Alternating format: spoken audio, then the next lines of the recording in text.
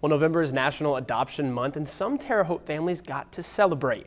Families who have adopted or are currently adopting were invited out to the Terre Haute Children's Museum. It was all in celebration for Adoption Day in Vigo County. Families enjoyed an IHOP breakfast, some magic, all while learning about the possibilities adoption can bring.